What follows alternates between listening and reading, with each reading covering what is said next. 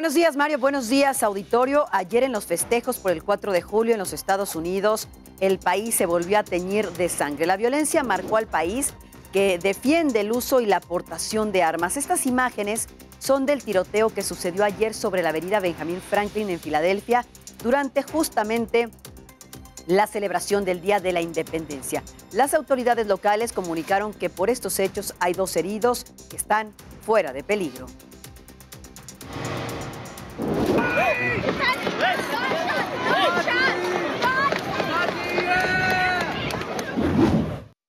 Pero el verdadero terror se volvió a apoderar de Estados Unidos ayer también, cuando un hombre abrió fuego desde una azotea sobre un desfile del Día también de la Independencia, pero esto en la ciudad de Highland Park, a unos 40 kilómetros de Chicago, matando a seis personas e hiriendo a 33, lo que ha provocado que cientos de personas en ese momento que desfilaban padres de familia con carritos para bebés y niños en bicicleta huyeran aterrorizados. Este es el tiroteo 308 en lo que va del año en la Unión Americana. En los últimos meses, escuelas, iglesias, tiendas de comestibles y ahora desfiles de la comunidad se han convertido en verdaderos escenarios de masacre. Entre los fallecidos en este atentado hay un mexicano.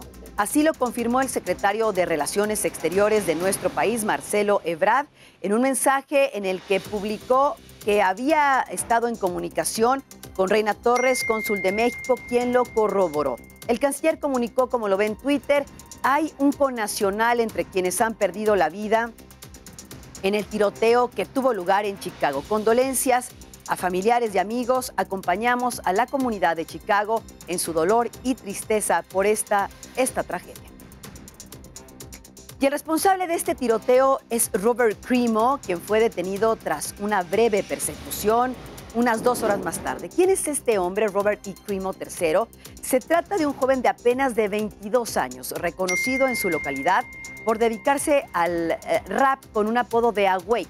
Durante la presidencia de Donald Trump mostró su apoyo al ir incluso a mítines del exmandatario y tomarse fotos con propaganda alusiva al magnate. Por su parte, el presidente de los Estados Unidos, Joe Biden, dijo que mantendrá su lucha contra la epidemia de violencia armada. Estas fueron sus palabras. You all heard what happened. You all heard what happened today. But each day we're reminded there's nothing guaranteed about our democracy, nothing guaranteed about our way of life. We have to fight for it, defend it, and earn it by voting.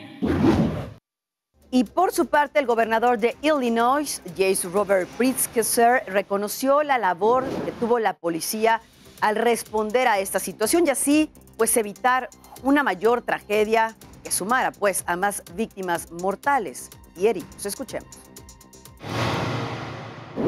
I want to begin today by honoring the heroic actions of law enforcement who ran toward the gunshots that they heard today.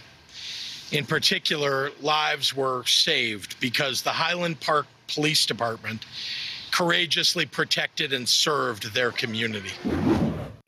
Pero al inicio de este bloque le comentaba que Filadelfia no fue el único tiroteo que se registró durante los festejos por el Día de la Independencia en los Estados Unidos.